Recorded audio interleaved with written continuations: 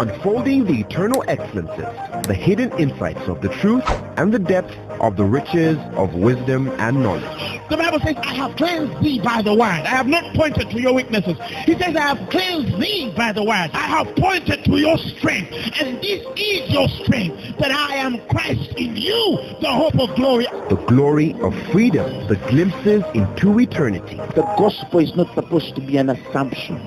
It's not supposed to be just a mere presupposition. Truth is older than language. But the word of God is way deeper than any human language. And now, Apostle Grace with the Word. Haggai chapter 2, verses 5. Now if you're a reader of a word, it was in the 21st day of the month, in the seventh month on the 21st. Um, the word of the Lord came to the prophet Haggai concerning Zerubbabel, the son of Shealtiel, the governor of Judah, and to Joshua, the son of Jozadak. And if you know Haggai and Zechariah, which by reference in scripture are called minor prophets. And I tell people that they're not called minor because they have a minor role in scripture, but they are called minor because they wrote a little. And so that was just used for referential purposes in scripture, but not necessarily um, divine purpose. Some people think that the references of scripture can be used in the offices. Um, but that is not right. You cannot say I'm a major apostle.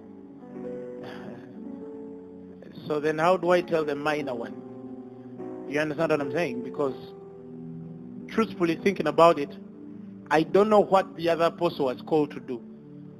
So what makes me think that I'm major when I don't know the purpose for which God has ordained them for? What if God has sent them to 120 people? Are you following what I'm saying?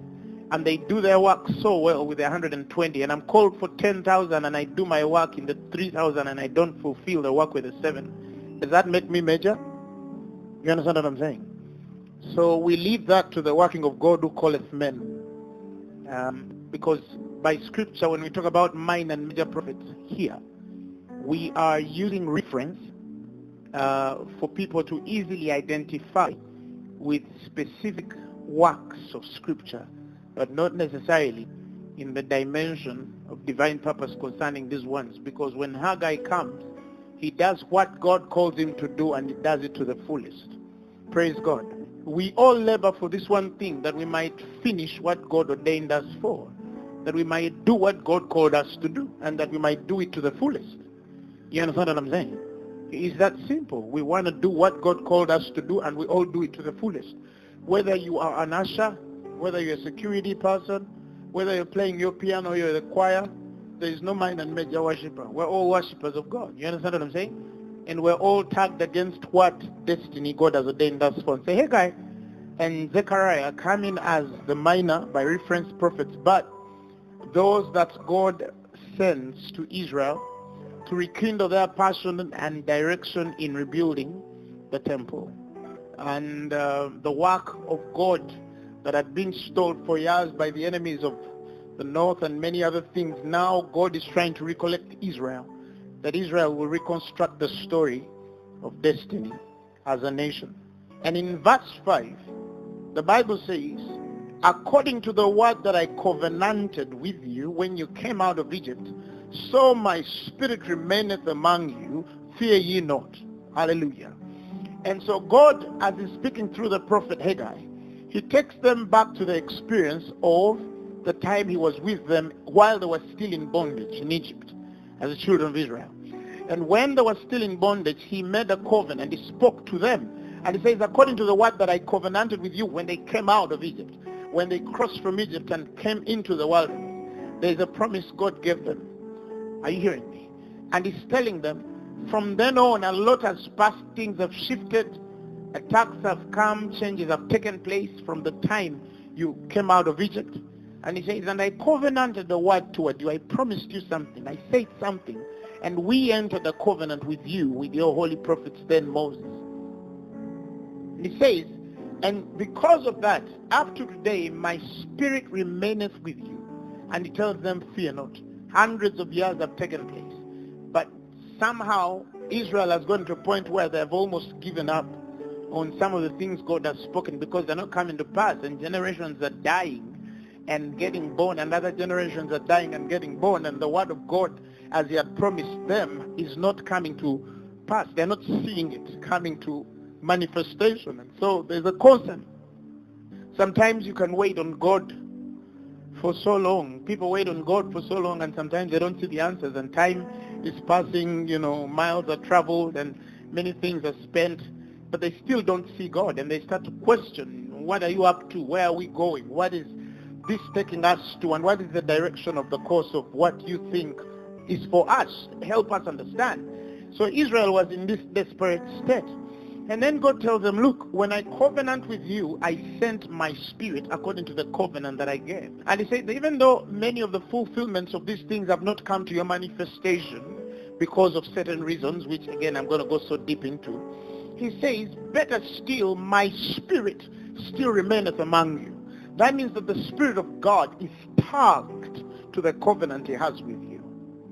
Are you hearing me? The spirit of God is present to the covenant he has made with you. And this can be as general as a church. This can be as general as the body of Christ. But this can even get personal to you.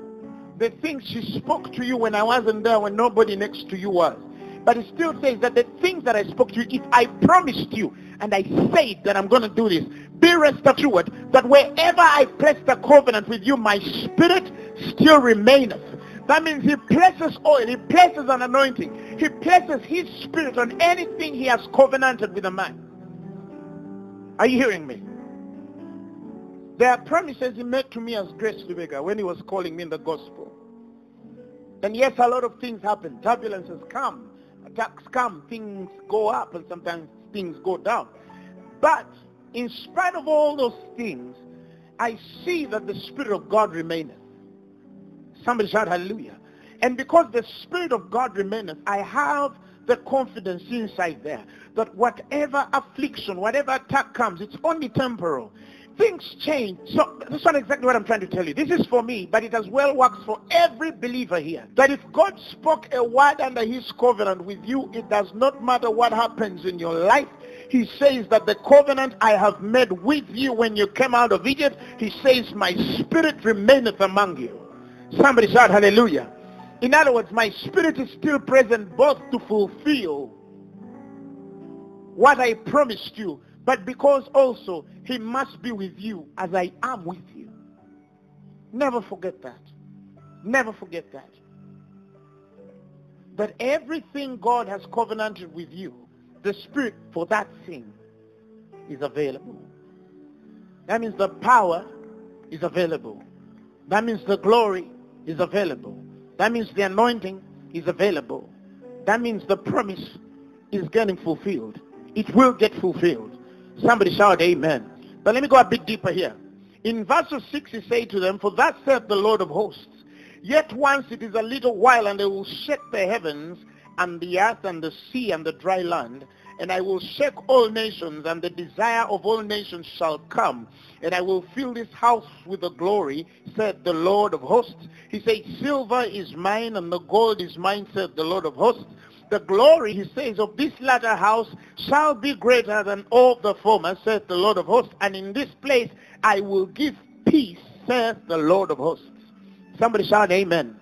Common scripture. Common scripture. He says, I am shaking the earth, and I'm shaking the heavens, and the earth, and the sea, and the dry land. And he says, and I will shake the nations, and the desire of all nations shall come, and I will fill this house with glory, says the Lord, and the silver is mine, and the gold is mine, says the Lord of hosts. And the glory, he says, of this latter church, this latter building, this latter house, this latter establishment, this latter tabernacle, this latter temple, this latter sanctuary, this latter experience, he says, it shall be greater than of the former, said the Lord of hosts. And in this place I will give peace, saith the Lord of hosts. Somebody shout amen. And that's where I want to go. That's where I want to dig. God has promised that our time will be greater.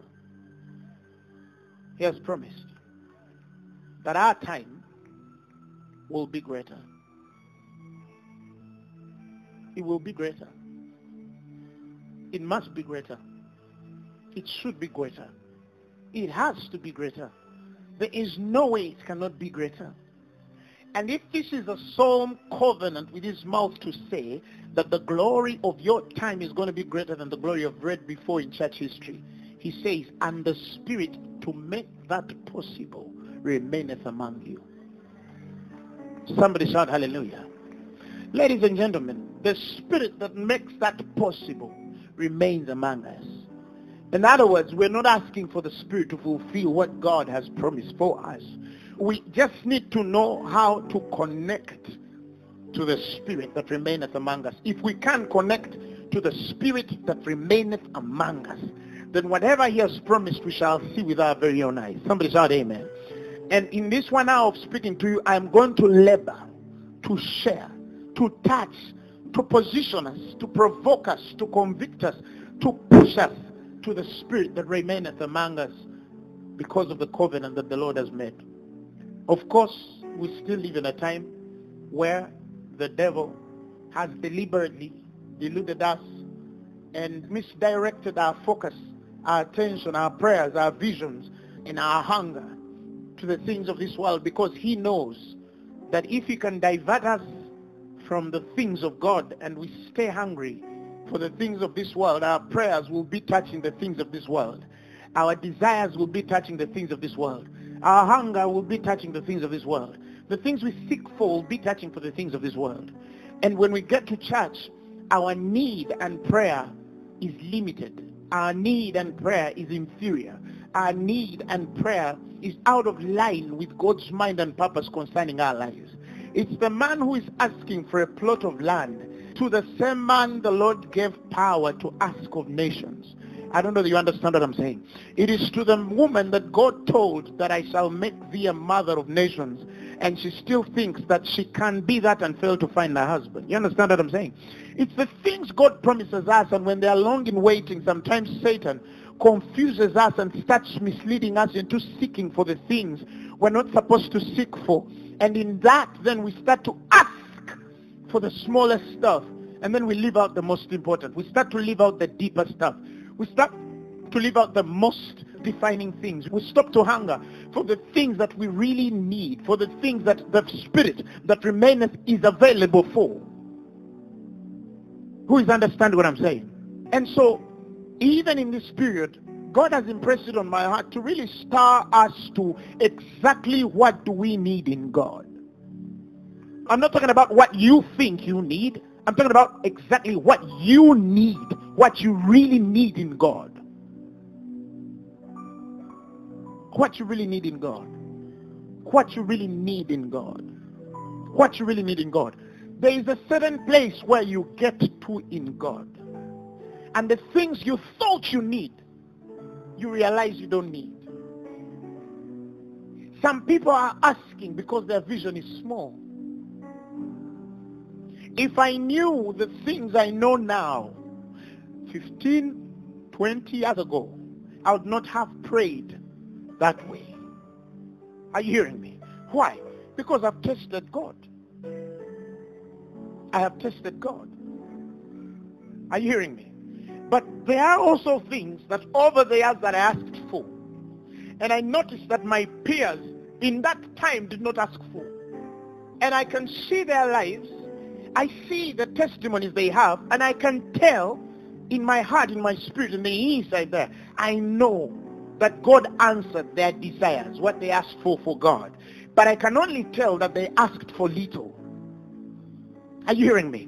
I just want to provoke you to ask, to pray, to seek for something bigger than your name, something bigger than your color, something bigger than your family, something bigger than your language, something bigger than you, something bigger than your education, something bigger than your connection, something bigger than your experiences, something bigger than your exposures, something bigger than what you could ever experiment and test That is what I want to provoke your spirit for. Because we lose something when the spirit is available to fulfill the bigger picture of God and we're still asking for things so small. And it doesn't mean that God will not fulfill it. But how long will he continue dealing with us when we are asking for things we don't need more than the things we need? And our eyes then are taken to open, to understand, to see what we really need in God. So I told people one day, I said, when you build a certain relationship with God, a certain relationship, there's a certain relationship, when you build it, there are things you can't ask God for anymore. Or at least, if you should go in prayer, the things you'll ask for from God will be different from the things the normal Christian, the usual Christian, the predictable Christian, the mediocre Christian will ask for. Why? Because the Spirit that promised that the glory of the latter shall be greater than the glory of the former, the Bible says he still remaineth with us. And that's when the Spirit asks me, what are you doing with that same Spirit that is still among you? You must know the tangibility of his presence and the reality of the fact that he is here with us. And I discovered this, that we have not placed the demand on him because we don't know the spirit that is among us. We don't know the spirit that is among us. We don't fully understand the spirit that is among us. And so,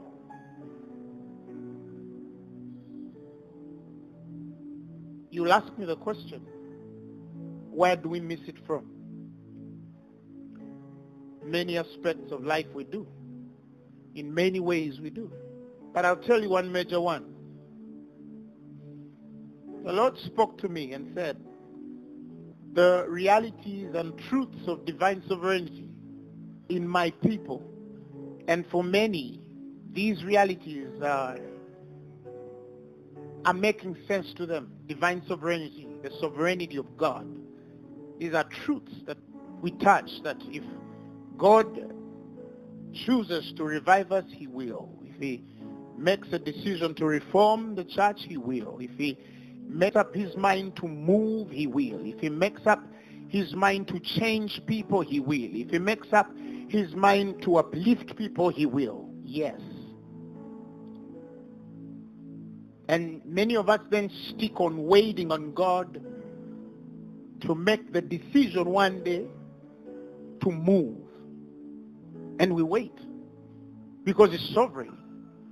Unless God buildeth, the builder buildeth in vain. Unless the Lord watches over a city, the watchman watches over in vain. And so in that, we assume that the sovereignty of God is telling us that we have to wait on him to make the decision to move. And so some say, if God chooses to revive his people, you don't need to do anything about it. If God chooses to save his people, you'll not do anything about it. And some of us stick through there. And then we get so hard, committed into prophetic interpretation of scripture, which are all true and applicable in their own times and seasons. And then sometimes we even go beyond even prophecies of scripture to individual prophets and what God gives them in their given time of hour. And it's okay to have all that. It's okay. I believe in all that. I believe in the authority of Scripture. I believe in the prophecy of Scripture. I believe in the prophets of God. I believe in the sovereignty of God. But God told me, what if these things mute your perspective of human responsibility? What if these things, the sovereignty of God, the authority of Scripture and prophecies or prophets, mute, kill, take your perspective of human responsibility. And then, what is the space of human responsibility amidst prophecy? What is the space of human responsibility amidst the word? What is the space of human responsibility in the place and time of God's sovereignty? What if God does not want to move, yet the man is ready to believe God to move? How do we reconcile that? How then can God refuse to move when he has set the laws uh, of the Spirit that allow him to move, that must move him or he must move of or by in the time when he should. And then we get the confusion of if the Lord wills, he shall send us power. He shall send us the anointing. He shall send us the glory. We're waiting on him. And some people up to today are still waiting on God. Are you hearing me? But then as I started to study scripture, I started to see that human responsibility in history has moved God before, even out of his sovereignty and authority of prophetic interpretation, prophetic instruction, prophetic command. We have read experiences in the Bible before where God, in his sovereignty, he has made decisions about things, about people, about events, about affairs, and a man out of responsibility places a demand to, for God to change something, and God changed it because he honored that man or because he honored the faith in the spirit of that man. And when I started to see those things, I then started to learn that even though the sovereignty of God is a truth infallible, or that the scripture and the prophetic utterance of it or the prophets that are sent are all acceptable, God has still created a space for the man that is ready to place a demand and believe him for something to act for that man's faith because he respects human responsibility when it touches the divine things. Somebody shout hallelujah. And I'll give you a few examples. Some of you have read the story of a man called Hezekiah. The Bible says in 2 Kings chapter 20 from the first verse, the Bible says in those days Hezekiah fell sick. And when Hezekiah fell sick, the Bible says he fell sick unto death. And when Hezekiah fell sick unto death, the prophet Isaiah the son of Amos came to him and said unto him, Thus saith the Lord, set thine house in order, for thou shalt die and not live. And the Bible says, and then, after Hezekiah had had this, the Bible says, then he turned his face to the wall and prayed unto the Lord. Yes, the Lord has said that put your house in order, you're not going to live. That's the sovereignty of God. That is a prophetic utterance by God. He has made up his mind to end the man's life. He's not testing him. He has made up his mind. The prophet has come from God and he has said that our plan according to heaven, you're supposed to be dead. Are you hearing me? And the Bible says, and then he turned his face to the wall and prayed unto the Lord, saying, I beseech thee, O Lord, remember now how I have walked before thee in truth and with a perfect heart, and have done that which is good in thy sight. And the Bible says, and Hezekiah wept sore. He wept loud. He wept with a pain in his heart that he was going to die. And the Bible says, and it came to pass afore, as Isaiah was gone out into the middle court, that the word of the Lord came to him, saying, turn again. He didn't even allow him to, oh, he did not even allow the prophet to go back and have a meal. No. Was the prophet wrong? No. The prophet could have even told guys before he came to Hezekiah and told him, you know what? The Lord has given me a word to go and tell Hezekiah that he's going to die. And you know, if Hezekiah didn't die, there's probably even people in the middle who say no. But the prophet spoke and it did not come to pass. That means he's a false prophet. No, he's not necessarily a false prophet because it did not come to pass. No, no, no. There's a sovereignty of God that even goes beyond the word of the prophets. Somebody shout amen. And the Bible says, and it came to pass afore, as Isaiah was gone out into the middle court, that the word of the Lord came unto him, saying, Turn again and tell Hezekiah, the captain of my people, Thus saith the Lord, the God of David, thy father, I have heard thy prayer, I have seen thy tears. He says, Behold, I will heal thee, and on the third day thou shalt go up into the house of the Lord. And I will add unto thy days fifteen years, and I will deliver thee in this city out of the hand of the king of Assyria, and I will defend this city for my own sake and for my servant David's sake. And Isaiah said, take a lump of figs, and they took it and laid it on the boil, and he recovered. Actually, the literal word there for recovering is he began to recover. He healed. He started to heal. And Hezekiah said unto Isaiah, What shall be the sign that the Lord will heal me, and that I shall go up into the house of the Lord the third day? And Isaiah said, This sign thou shalt have of the Lord, that the Lord will do the thing that he has spoken. Shall the shadow go forward 10 degrees or go backward 10 degrees? And Hezekiah answered, It is a light thing for the shadow to go down 10 degrees. Nay, but let the shadow return back 10 degrees. And as Isaiah the prophet cried unto the Lord, he brought the shadow 10 degrees backward by which it had done in the tile of a house. Because he wanted to prove to this man that I have made up my mind. I have changed My mind has got to give you 15 more years and to deliver you from the hand of the Assyrian, which then was not the plan before. But because you prayed, my sovereignty has changed and my mind has been changed concerning a thing. Why? Because the Spirit remaineth. Somebody shout amen. Shout amen. Shout glory to God. And so from then he gave us proof. He gave us living proof that it is possible for me to come out of my own sovereignty and change something if a man can provoke me by prayer. So yes, there are times God has appointed for revival.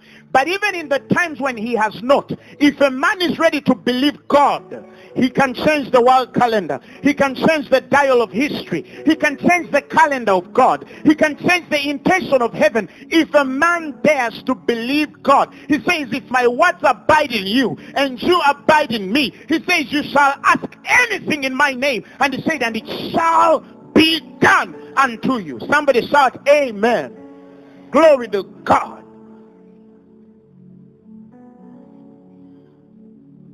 I used to be provoked, still I am, when I read and imagine what a latter glory would look like. It just beats me. When I think about it, it just beats me. Men made access float. They tore the mouths of lions. They were valiant in battle. The Bible says women received their dead. And what more shall I say of Samson and Gideon and Jephthah?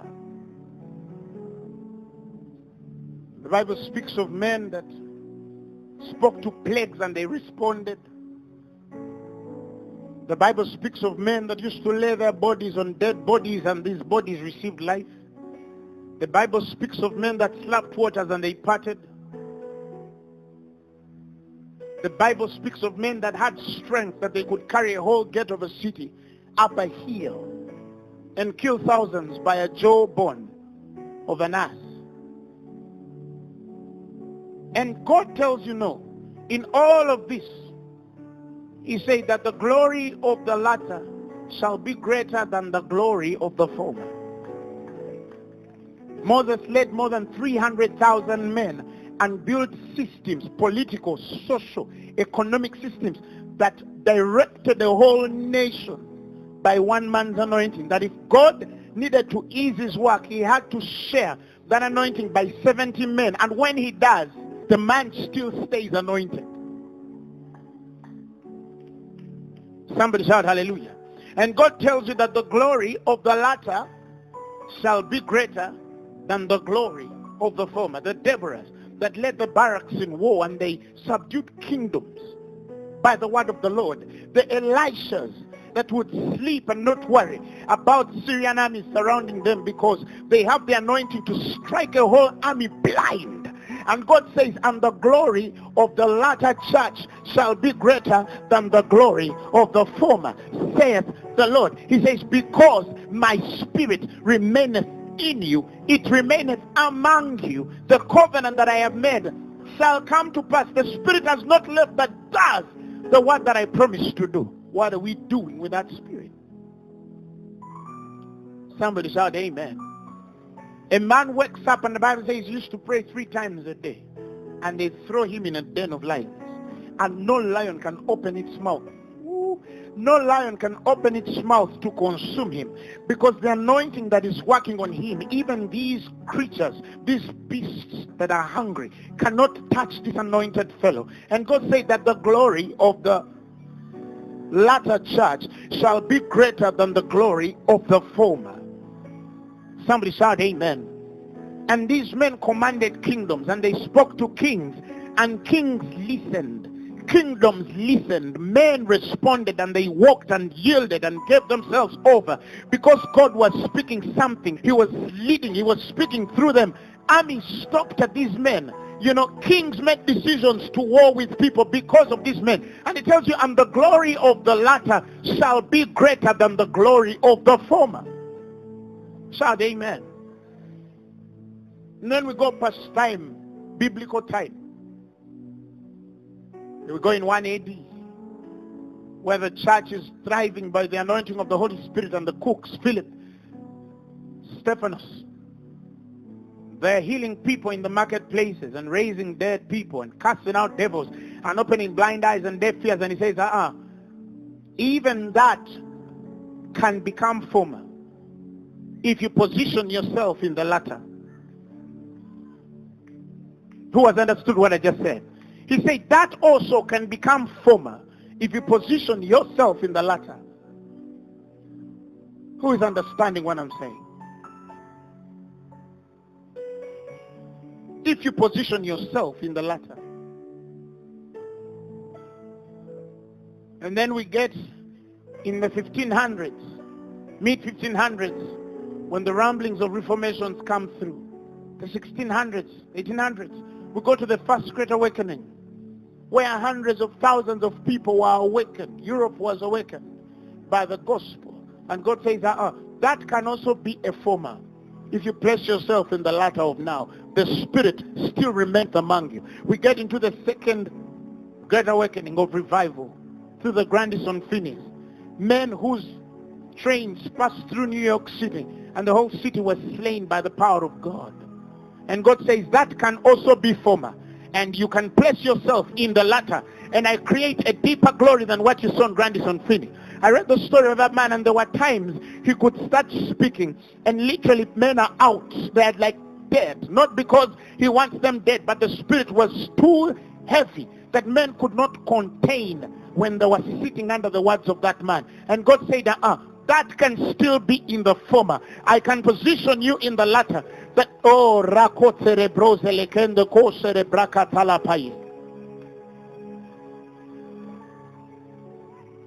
The holiness movements, the layman revivals, where there was no specific leader of movement, and men, simple laymen, sat in small meetings to pray, and revival swept the whole nations brothels closed, clubs closed, entertainment places closed, hospitals were turned into churches because men prayed. Hallelujah. In Alexander Dowie's days, they tell you the story. They said that there was a time Zion, Illinois became the healthiest city in the United States. And it was already spoken of that in Zion people don't fall sick. When a child was growing up, their parents would tell them, don't become a doctor. Why? Because Alexander Dowie is alive. Doctors left hospitals and started plumbing because it was easier to make money out of plumbing than treating people. Why? Because a man with a certain anointing came and gave the devil hell over sickness. And we're living in a time where anything medicinal now is wealthy. Everything medicinal creates money. How many nurses are imported in the United Kingdom alone? How many doctors are imported? How many doctors are flown into nations? How many doctors are hard to get? How many doctors do we take months and weeks and years to get to? Because if you don't get to that guy, he's the only guy who can cut your belly a certain way. He's the only one who can operate your brain a certain way. And I'm not saying that I'm against doctors, but a time lived one time in human history where doctors started treating and they became plumbers because a certain man was healing people by the Holy Ghost. Men in church history, men like Alexander Dowie, he was arrested by the government of the United States and they say that he was practicing medicine without a license. They were not arguing that his God does heal. No, they just had a problem that his God is healing and he does not have a healing license and the Spirit remaineth among you. Sarakata. I say the spirit remaineth among you. And that is why I talk to the doctors that are present. That may God put something on you. That you enter a hospital room and you say, instead of cutting you, I'm going to give you a master cutter. Rakatapa. You lay hands on them and say, in the mighty name of Jesus, I command that cancer, wherever it is hidden, I command it to come out. Why? Because the spirit remaineth among you. I say the spirit remaineth among you. Harakotoropaya. Romozile lendo lokozibaya.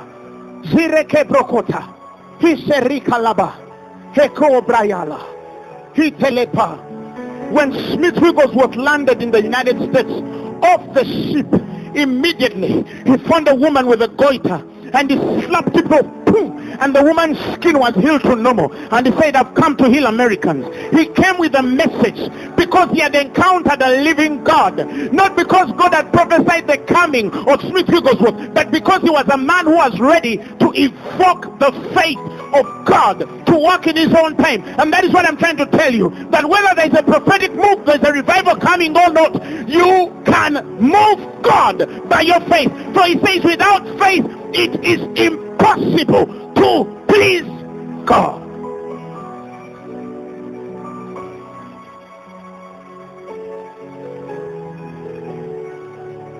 Horakotelepa. A.A. Allen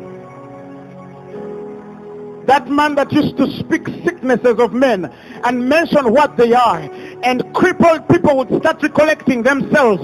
From nothing they bring a very crippled person from head to toe and the legs and hands start stretching out and they walk out normal. And in that time it was a normal event because they were sure God was even ready to do more than they expected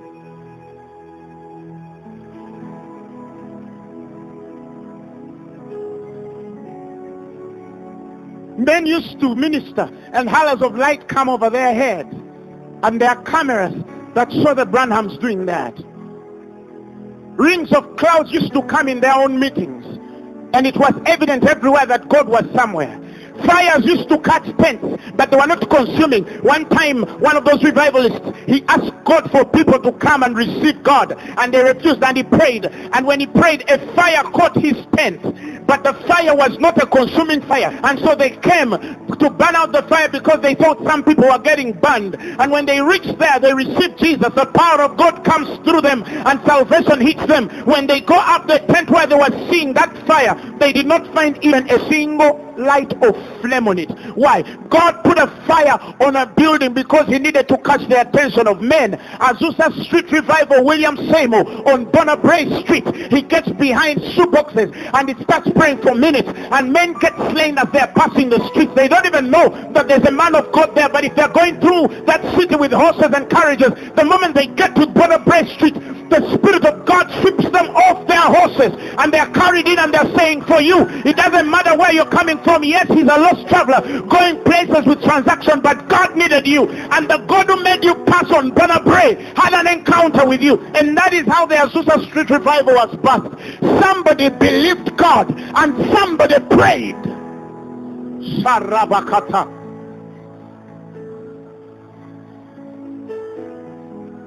Human responsibility.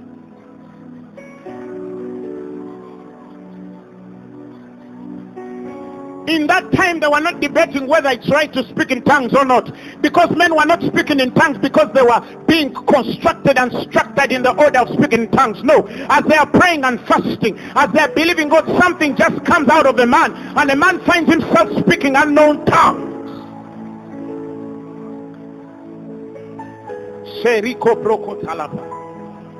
And God says, so my spirit remaineth among you does remain among you. That same spirit that raised Christ from the dead.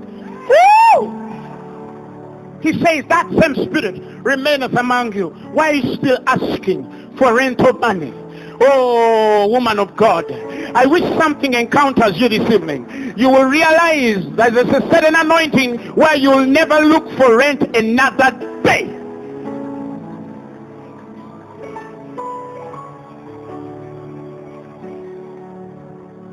Another woman generally spoken of. She was preaching one day and a fire lantern hit her face and it burnt the whole face. And when it did, she went on a piano as people were laughing and scoffing, saying, look at the stupid evangelist, which was telling us about Jesus. He has gotten burnt on the stage as she's preaching. As men were laughing, she went on a piano and started singing, Blessed be the Lord that healeth me. Blessed be the Lord that healeth me. As blood is dripping on the face and the skin is torn off. Blessed be the Lord that healeth me. And the story is given as she was singing. Her skin started to restore back as of a child. And in a few minutes, her skin was back to normal. And those that saw it, all of them gave their lives to God. That is what I'm trying to say. May God provoke something in your spirit that men will observe and say, I want to receive God as my personal Lord and Savior without you speaking. But the anointing of God and the operation of the Spirit that remaineth among you has been provoked and now we provoke him again by prayer. He's just looking for somebody who's ready to believe. In Luke chapter 18 verses 1, the Bible says he spake a parable unto them to this end that men ought to always pray and not faint. He spoke a parable to this end. In other words, whatever he was speaking was that to the end men will know that men ought to always pray and not to faint. Men ought to always pray and not to give up and not to give in and not to become weak. He's saying there was in a city a judge. The Bible says, which feared not God, neither regarded man. And there was a widow in that city, and she came unto him saying, Avenge me of my adversaries. And he would not for a while. But after he said within himself, Though I fear not God nor regard man, yet because this widow troubleth me, I will avenge her lest by continual coming she weary me. God is saying this parable was to the end that men ought to pray and not to cease and not grow weary and not faint. And the Bible says, and the Lord said, hear what the unjust judge said. And he says, and shall not God avenge his own elect? Shall he not revive his own? Shall he not form his own? Shall not move in his own, which cry day and night unto him, though he bear long with them? He says, I tell you that he will avenge, he will revive, he will change, he will uphold, he will bring that thing speedily. Nevertheless, he says, when the Son of God shall come, when the Son of Man cometh, shall he find that kind of faith on earth? When God comes, when Jesus comes, when he comes to evade a people, will he find people who are ready to pray until they see what they have believed for? Yes, I'm sovereign. But if an unjust judge can judge a woman's case because she's wearing him with prayer, and he says, look, I'm not unjust. I am the just one. That means I will not even let you be weary. Are you hearing me? But I'm trying to tell you to this end that I want you to cultivate a life that prays through something until you know that you have it. That is what happened to Wesley. Some of you know the story. After many years of ministry and his Bible school, he goes as a missionary, comes back about three or so years after, and goes to his spiritual authority, his spiritual father. And then his spiritual father asks him, do you have proof, Wesley, that the life of God resides in the inside of you? That same life that raised Christ from the dead. And Wesley, after long thought, he said, I cannot answer that. And Wesley separated himself in that time as it is written. That he went aside and prayed. And he said to God, give me that thing. That when I have it, I shall know that I have it. And that is the voice that revives Europe. That is the voice that is behind the awakening of God's people. Because a man was ready to receive something that when he has it, he knows that he has it. Somebody shout amen. And now it's no longer God wanting to move. He is already made up to move. He's saying, when the Son of Man shall come, will he find faith on earth? Will he find somebody who's ready to believe him? Will he find somebody who's ready to pray for it and ask for it and receive it because it's available? It's available. He says the spirit of that covenant still remaineth among you. He's saying, will I find a man with enough faith to get it, to lambano it, to receive it? Will I find somebody who can pray and get this thing? Will he find? If he can, if he can, this world is going to become so small. He says that the fervent prayer of a righteous man, the honest, continued, James 5.16 amplified, he says, the honest, heartfelt, continued prayer, he says, of a righteous man makes tremendous power available. He calls it dynamic in its own working. He called it the continuous, the earnest, heartfelt, continuous prayer. And then when he gets into the Haggai testimony and prophecy. And Paul finally understands it. Paul read Haggai and understood Haggai. And then he says in Hebrews chapter 12 verses 25, he says, see that you refuse not him that speaketh. In other words, this is not about him moving. This is about you choosing to receive or refuse.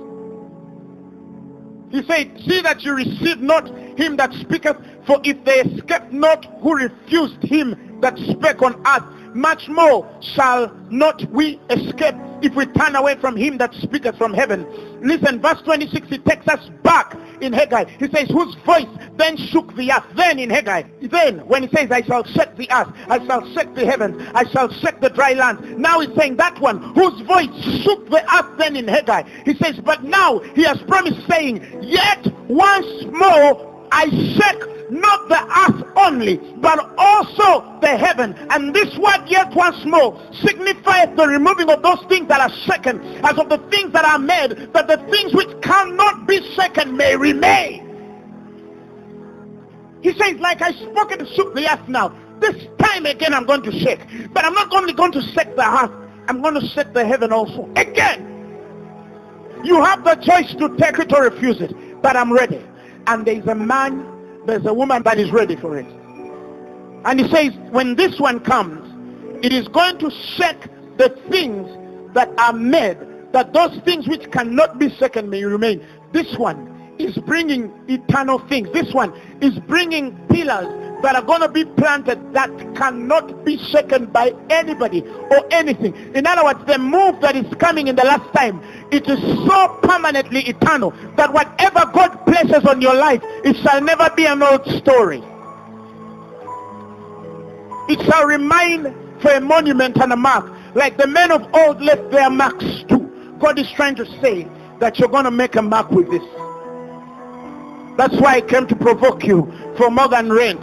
I came to provoke you for more than a job. I came to provoke you for more than a child. I came to provoke you for more than a husband. I came to provoke you for more than a wife. I came to provoke you for more than a Canadian visa, for more than a US passport. I came to provoke you. I came to provoke you. I came to provoke you. I came to provoke you for more than that because he says the spirit that makes you above that he says it is available he remaineth among you and now, for the new creation, he is in you. To this end was this proverb, that men ought to always pray and not cease. Open your mouth and pray. Open your mouth and pray. You take me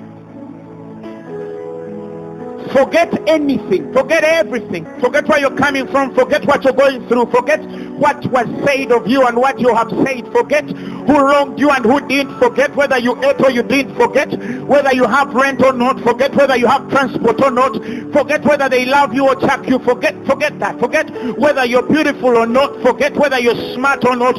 Forget whether you came driving or walking. Forget and just open your mouth and place on God a demand that is so eternal because he has said when a man's faith provokes me, when human responsibility comes to the things touching my purpose, he says concerning the works of me, command ye me. I will move, I will touch, I will change, I will uplift, I will uphold, I will revive, I will reform, I will anoint, I will move because the Spirit remains among you and in you. Open your mouth and pray. Come on, pray.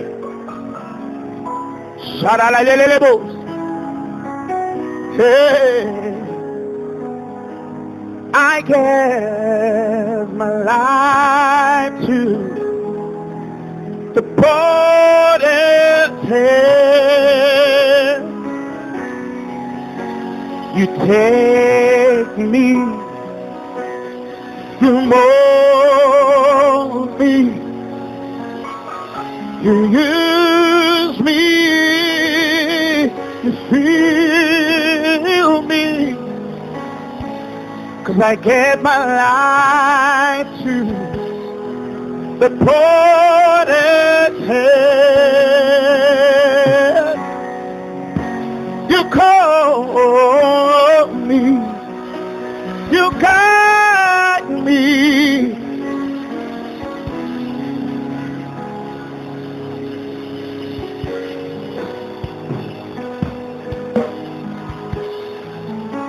I gave my life to Hold his hand. Somebody raise your voice and talk to God. You take me, yeah, you mold me, you use me, you feel me. I gave my life to the border head. You call me, you cut me, you lead me up beside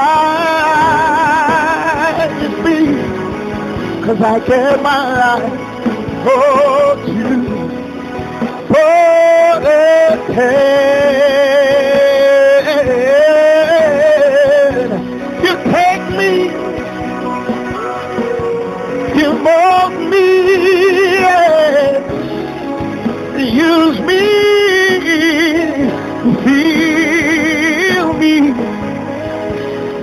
Cause I gave my life to the border head.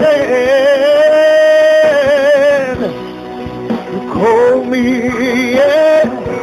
you mold me, yeah. To lead me walk beside me. Cause I gave my life to the poor. Oh,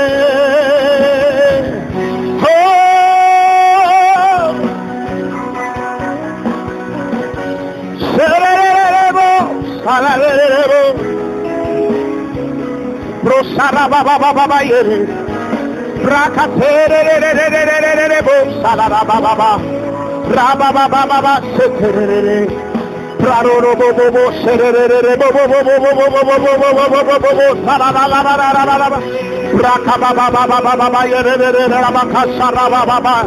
Sababababa rabababa rabababa. Sabababa kata rabababa yerere.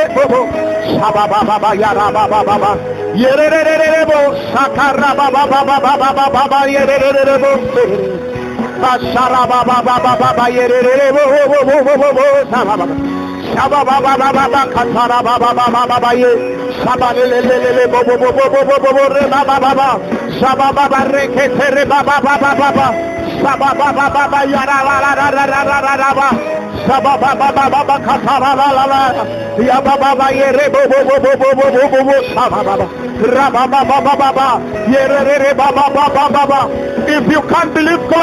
believe it for your children. Believe it for your time. Believe it for your nation. Believe it for your to believe God. Ye. Ye. Re re re re bo bo bo Believe it for your time. Believe it, your, believe it for your children. Believe it for your time. Believe it for your nation. Believe it for your generation. But somebody has got to believe God.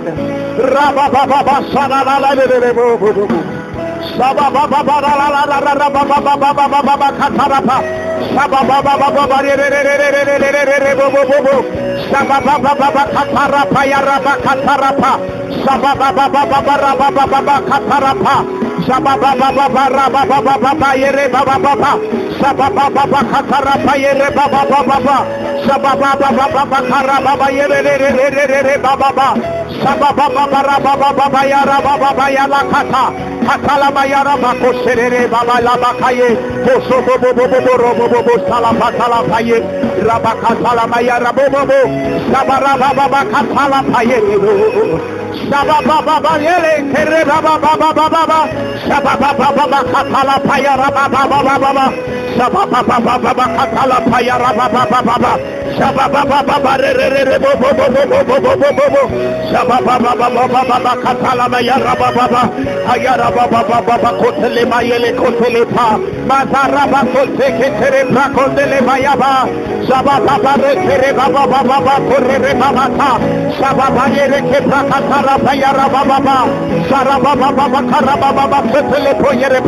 Rababa Baba Kosere Manda Rababa Baba Katalapa Shababa Yere Reboko Selepaya bakatalata. Sababa babaro robo bobo bobo bobo bobo saya. Sebebere ketelema yaraba baba kate. Sababa yere keremale robo bobo saya. Kabaya raba kotalata yorobo. Raba baba baba bakatalata yere pa. Raba baba yere barara ramando robo bobo bobo. Sababa baba bakabra katara baba. Saraba baba bakaraba baba baba baba baba. Saraba bakerebo sorobo bobo bobo bobo. Arababa katala paya rababa katalepo. Zababa marere baba katala paya rababa. Oh. que lleve baba baba la paya raba sara baba baba kore baba baba baba baba baba baba kata la haya baba baba kata la paya repa makara ba kosa le mo kosa lo ba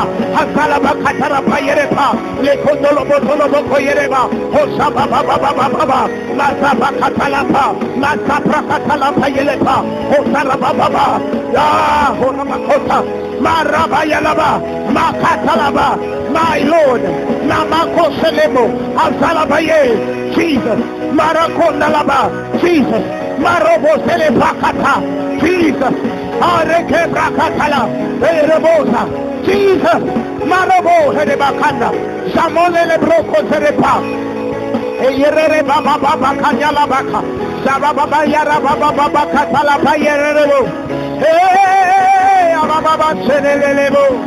You take me yeah.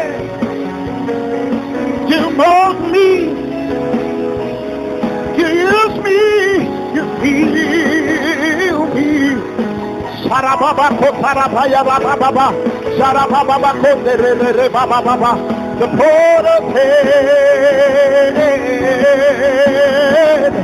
You hold me, yeah.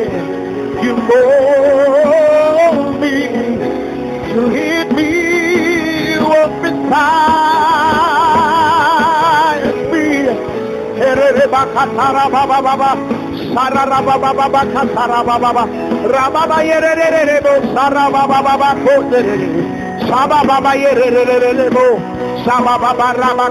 Sarababa Sharararababababakatalapaya. Sharababababakaramandarabakatalapa. Shabababakarabababayerereba. Shababababakorererebandorobrosorupa. Shabababarakola. It's working in us. The word of God is working in our lives. The word of God is working in everything we see. The word of God is working in every land we step. The Bible says the Spirit remaineth. The Spirit remaineth in us. The Spirit remaineth among us. The Spirit that does these things has been given, which is the seal of the promise that was sealed with to the day of redemption. Oh, Rabababa, we have not received the spirit of bondage again to fear, but we have received the spirit that is of power, love, and sound mind.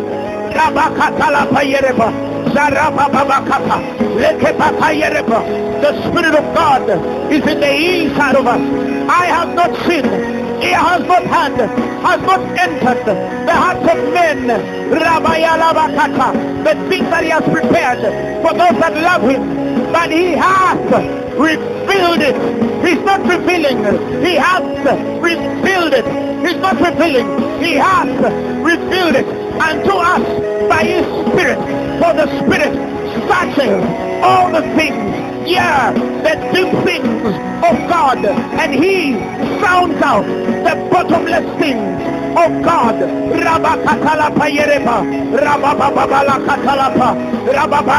The Bible says to us, God has unveiled and revealed these things through His Spirit.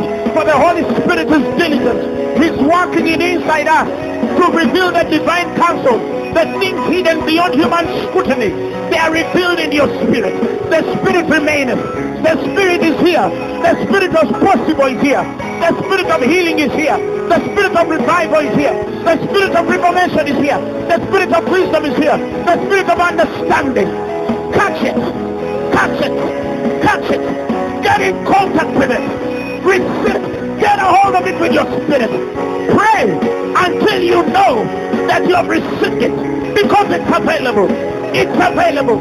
It's available. It's available. It's available.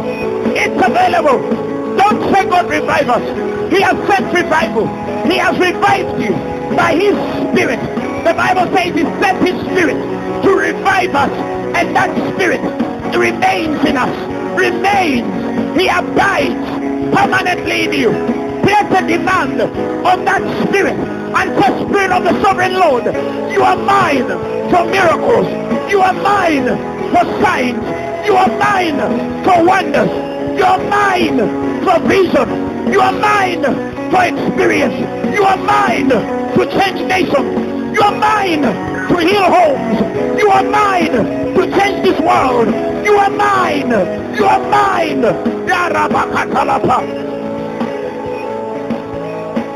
The Spirit is available. Pray like He's available. Place on a demand on what is available. Choose your path on what is available. Define your course on what remaineth, on who remaineth.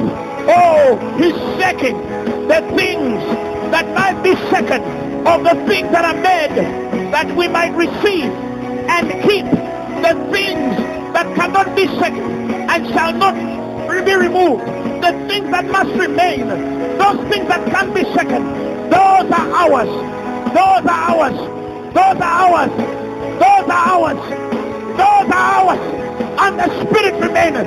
The Spirit remaineth. The Spirit remaineth. He's in you. In him you live. Move and have your own being.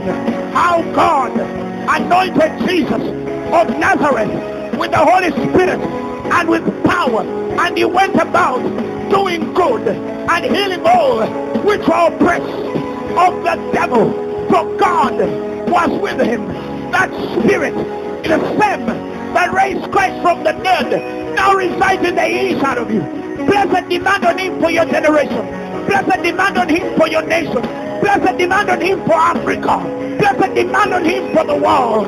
A demand on him for the island. Place a demand on him for the highways and the byways. A demand on him for the lakes. A demand on him for the rivers. A demand on him for the media. A demand on him for the economy. Place a demand on him for the politics. Place a, place a demand on him for your society, for the social. Place a demand on him for medicine. Place a demand on him. Place a demand on him for healing. Place a demand on him for delivery. Place a demand on him that delivering beyond him. Something bigger than him. Something bigger than your name. Something bigger than your relations. Something bigger than your culture. Something bigger than your tribe. Something bigger than your ethnicity. Something bigger. Something bigger. Something bigger than something bigger than your life. Hey!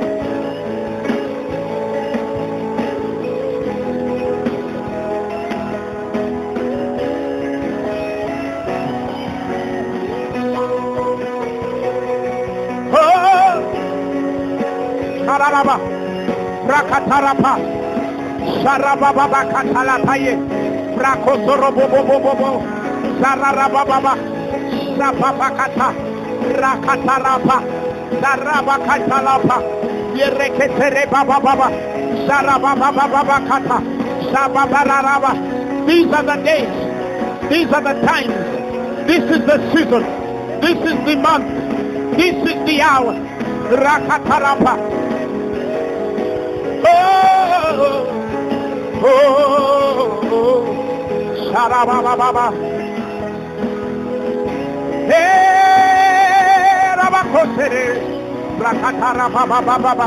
You know what you want. You know what you want. You know what you want. Place a demand on it. Receive it. Receive it.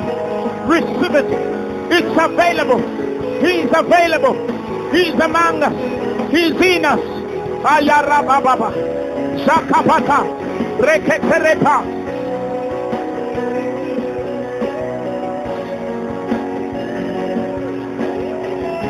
He's ready. The Spirit of God is ready. He's ready.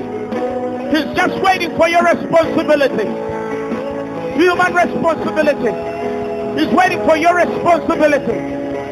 He's waiting for your responsibility. Take charge. Rababakatalapa. Pray.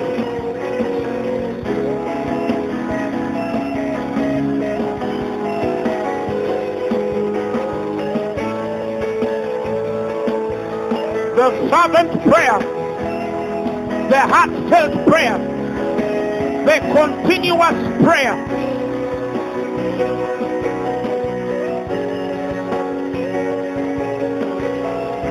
Of a righteous man, the Bible says availeth much power.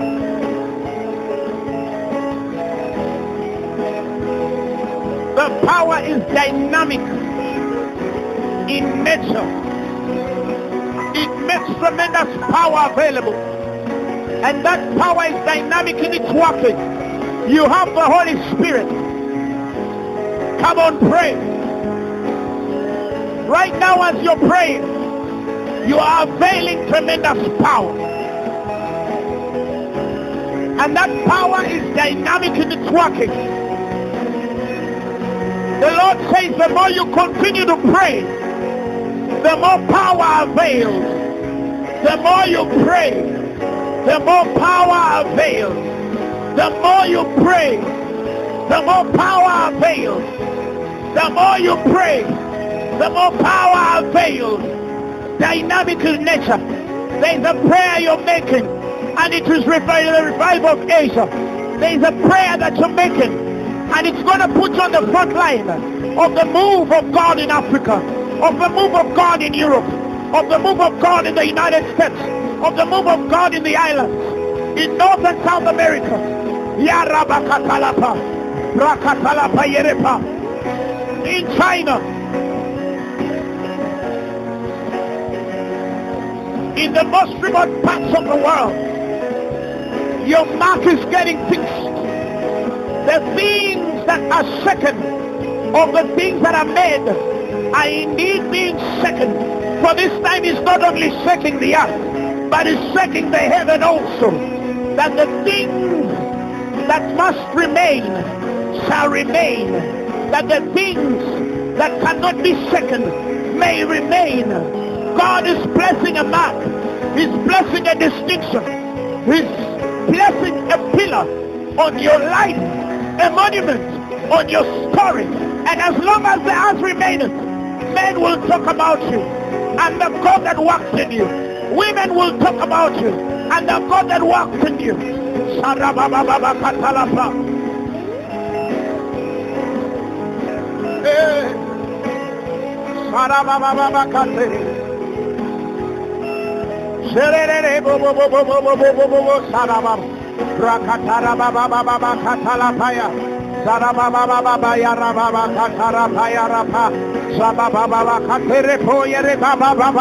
Eh. Hey!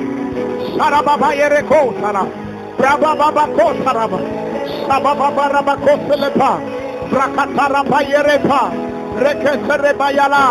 Avail much power. And that power heals nations. Hey, receive it, lady. Receive it. Makapatalapa. Rakatarapaye. Ya ya raba. It is yours. It is yours. It is yours. It is available. It is yours. It is available. It is yours. It is available. It is yours. It is available. It is yours. It is available. It is yours. Somebody receive it. Somebody take it. Sabakatalapa, Eketelepa, Rakatolomaya, Sabababa Yarabaka, Rakataraba Yaraba, Sabababa Rekolaba. Hey, Sarababa, Brocotere, take me. You mold me, yeah. You use me, yeah. You fill me. Cause I gave my life to the poor and.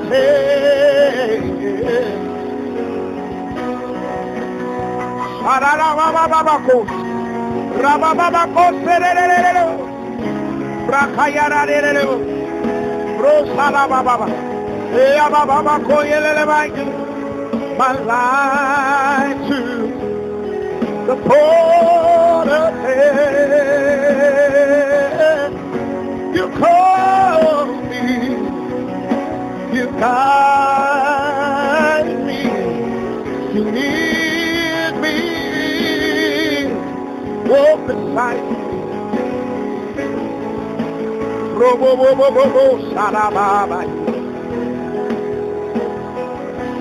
Oh,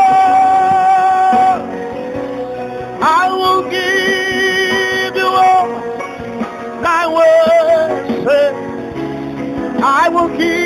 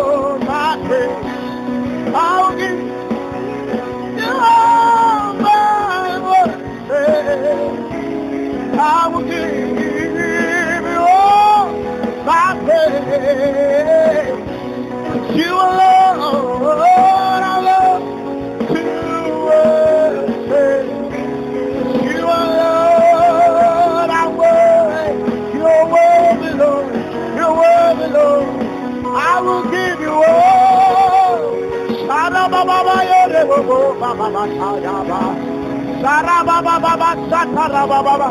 Serererererebo, sarababa, koserereba. Sorababa, yerelele, kerebo. Brakatarababa, kosere, brakatarapa. Sabababa, yerere. I will give you all. Come on, tell him I'll give you all. Karababa, serererebo. Brakatarababa, erelebo, sarababa. Men ought to always pray and not to faint. Oh, you alone. To the end that men ought always pray and not faint. Oh. It's our responsibility. Nobody's gonna pray for you. Nobody should pray for you. Pray for yourself. Create your own altar. Light your own fire. The Amplified Bible in Luke 18 1 says that he spoke a parable and to them to the effect that they ought to always pray and not to turn coward, not to faint, not to lose heart and give up. Pray for yourself. Hey! I feel the anointing of the Holy Ghost.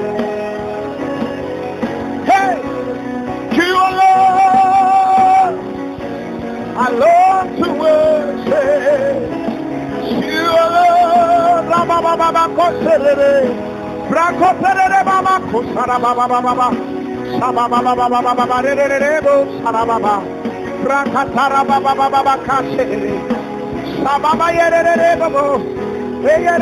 baba.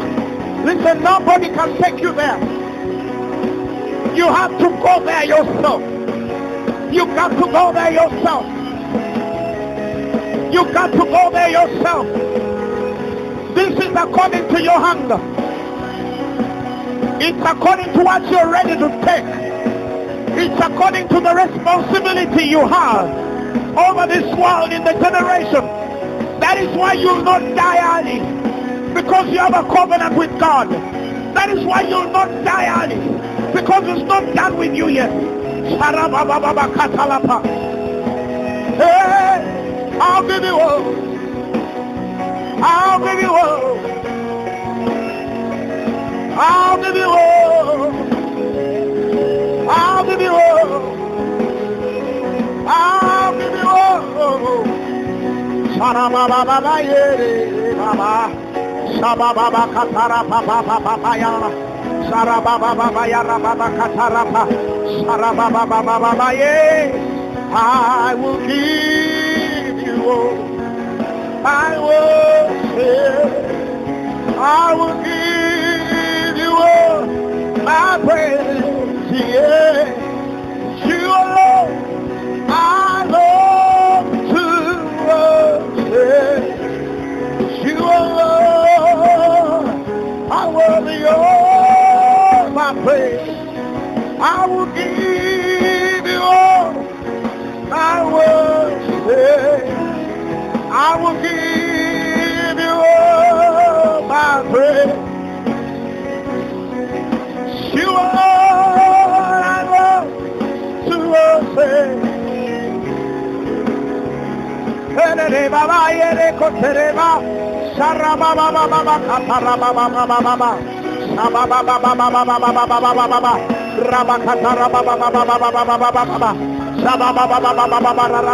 Raba. Shababa katara payere pakatalapa.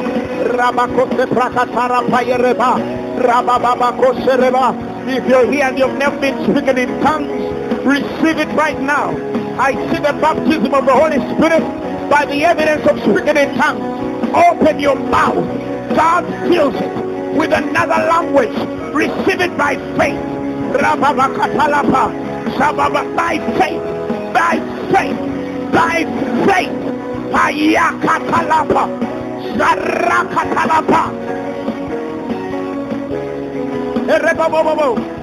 That's it. That's it.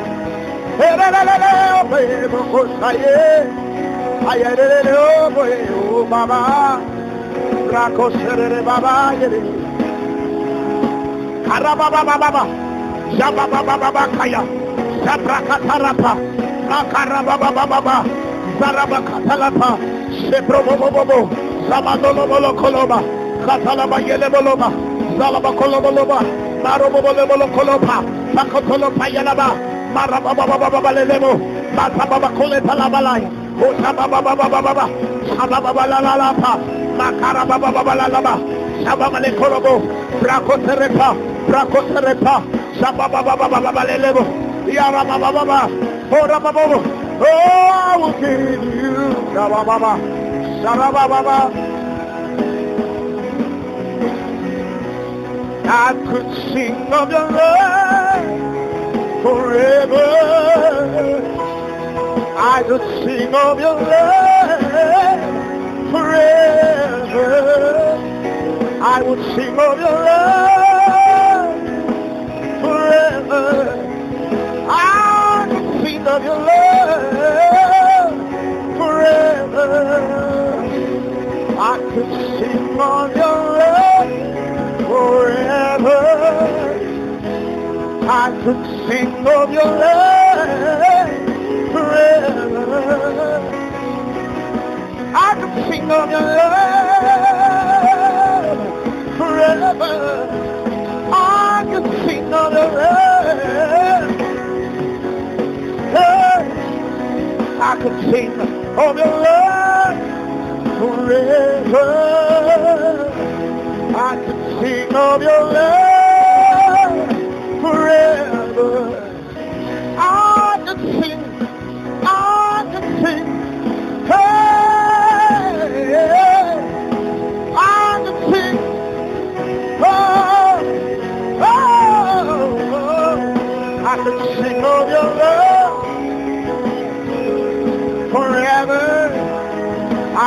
Sing of your love forever. I could sing of your love forever. I could sing. Spirit of a sovereign Lord. Takatara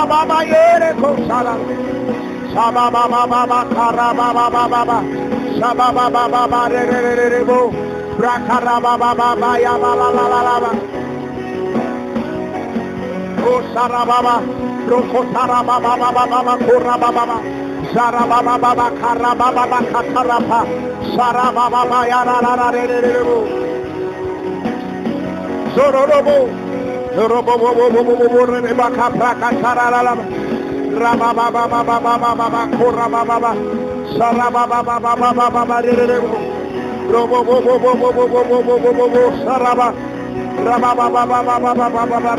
Saraba,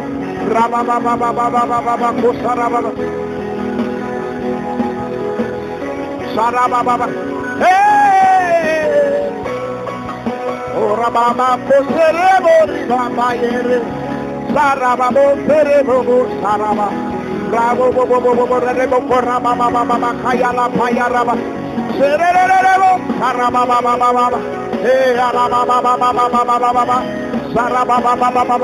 The wisdom of God. The wisdom of God. The wisdom of God. The wisdom of God. The wisdom of God.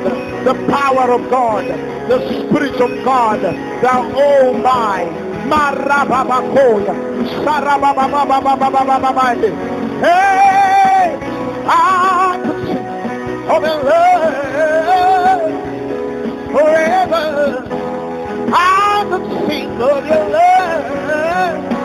Forever. I could sing of your love forever. I could sing. I could sing. I could sing. Hey! Roba baba baba baba kasara baba. Robo bo bo bo bo bo bo bo bo bo bo sara baba baba. Rakatara pa pa pa pa pa pa pa pa. Katara pa. Pa yere pa. Sara baba baba katara pa yere pa.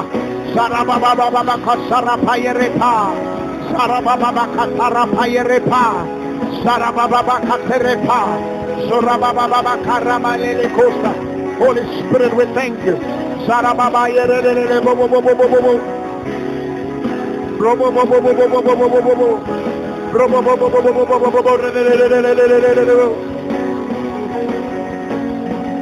You are the fire in me. Oh, you are the power that works in me. Yeah. You are my ever-present help. Oh, Holy Spirit, I adore. Oh, you are the fire with me. Yeah. You me. You are my ever-present help. Oh, Lord. Holy Spirit, I adore. Oh, you are the fire in me. You are the power that works in me. You are my ever-present help, oh Lord. Holy Spirit, I adore.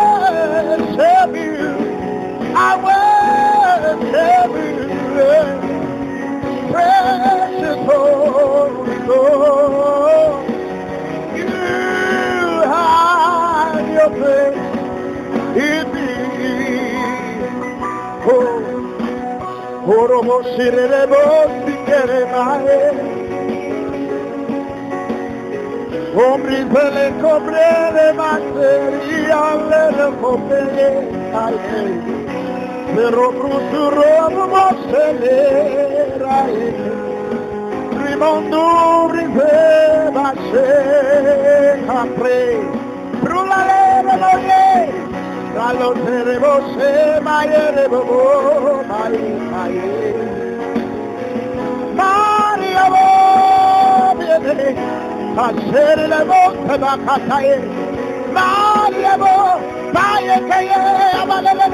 telele.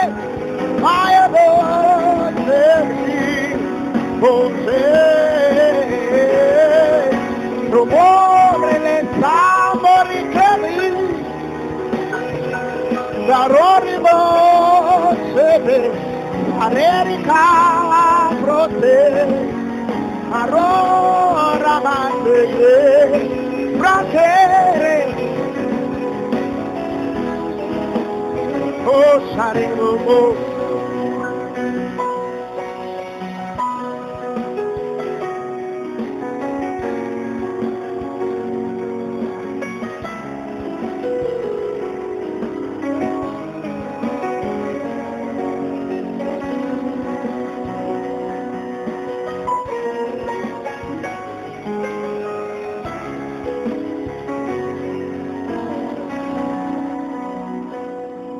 If you're here and you're not born again, and you want to receive Jesus Christ as your Lord and Savior, repeat these words after me. Say, Lord Jesus, tonight I receive you as my Lord and Savior. I give you my heart. I give you my life. I give you all that I am. I receive your Lordship tonight. My life is changed forever. Amen. God bless you. The message you have just heard was brought to you by Phaneroo Ministries International. For more information, contact us on telephone number 041 466 4291 or email us at phanerokampala at gmail.com. You can also find us on the web at www.phaneroo.org. Or better still, feel free to join us every Thursday for our weekly fellowships at UMA Multipurpose Hall from 5 p.m. to 8 p.m. You can also catch the live stream at livestream.com slash Phaneroo. Phaneroo, make manifest.